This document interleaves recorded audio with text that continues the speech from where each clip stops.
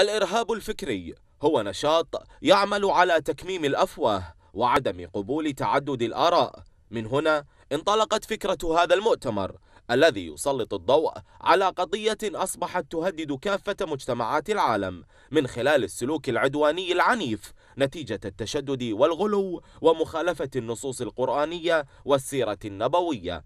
تحملت وزارة الداخلية مسؤوليتها منذ أن رسمت خارطة الهزيمة لمشروع الإرهاب الفكري وأخذت على عاتقها مواجهة أصحاب الرايات السوداء والمفاهيم العوجاء حتى تنوعت ساحات المواجهة الفكرية منها والأمنية.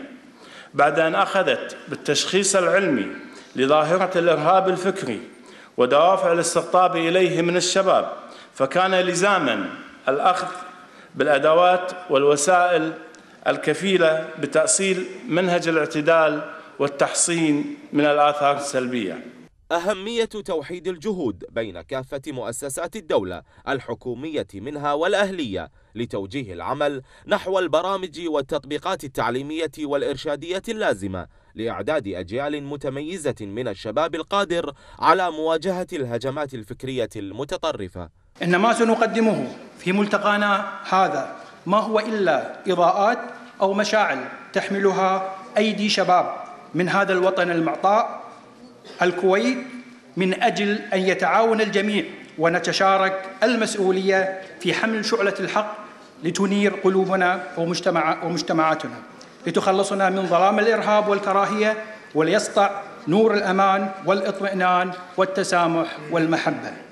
نحو بناء وطن يلبي العيش للجميع. يهدف الملتقى إلى تعزيز دور التنشئة الاجتماعية كأساس لتكوين المواطنة وقيم الانتماء لدى المواطن واستثماره في نبذ الطائفية والكراهية مما يتيح لأفراد المجتمع التكاتف والتعاضد والتمسك في القيم الاجتماعية. وحده العمل الجماعي يمكن أن يحقق بمنظور استراتيجي نتيجة تفضي لتصد كامل فعال ضد الإرهاب الذي يبقى التطرف يغذيه ما بقيت الدول بأنظمتها تسمح بذلك. حسين الصايغ لتلفزيون المجلس.